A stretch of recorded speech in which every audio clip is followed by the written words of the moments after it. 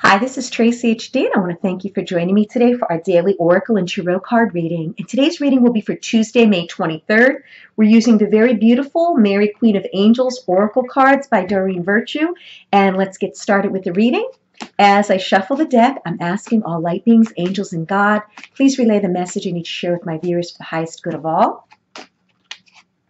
And we have patience.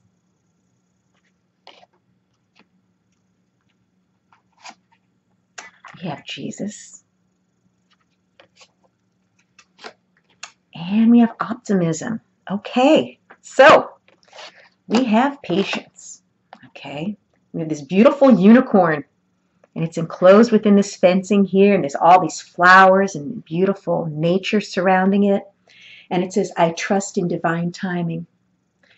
Patience was one of the hardest lessons I've had to learn in life.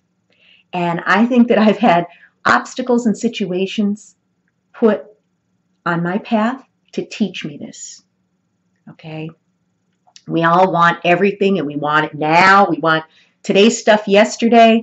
Uh, there's so much impatience in this world. But like I always say, when you force something that doesn't seem to be happening or working, maybe it's not for your highest good. Maybe that's why it's that much of a struggle. If you're patient, it's all in divine timing. So, say for example, it's a relationship. You want to meet someone and you want to meet them now. Well, maybe the person that's meant for you is in a relationship right now and that needs to end or dissolve before that person is available. Maybe that job that you want so bad that's going to bring in extra money and help you pay your bills and make life easier, well, maybe that job isn't available yet. Maybe somebody has to vacate that position. Okay? It's all in divine timing and divine order. So, whatever it is that you're waiting for, be patient. It will happen if it's for your highest good. If it's not for your highest good, then it won't. But try not to force things. Just step back a bit and allow things to unfold. And Jesus. And it says, I pray for Jesus' help and guidance with the situation. And I pray on a daily basis. Okay, usually at night, okay, after the, the day is done and I review everything that's gone on and, and, and what's been happening. When I pray, I feel such a sense of peace. When I surrender whatever is, okay, I feel such a sense of peace. The power of prayer is amazing. A lot of people overlook it. I don't know why. Uh, but this is telling you whatever it is, okay, whatever it is, you will be guided and you will be helped. You'll be saying a little prayer about it, you know, and you don't have to keep repeating the same request and praying about the same thing over and over.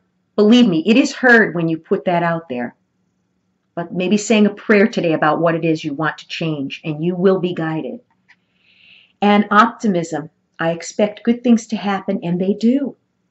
And again, it's about thinking positively, but we need to back it up with positive action.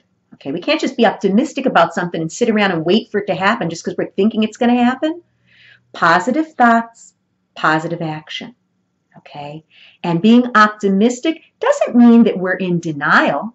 Okay, but we choose not to um, think negatively and, and bring more negative energy towards us, which is going to make it even harder to achieve what we're doing, this card is telling you, you know, expect good things to happen. So something good is going to happen.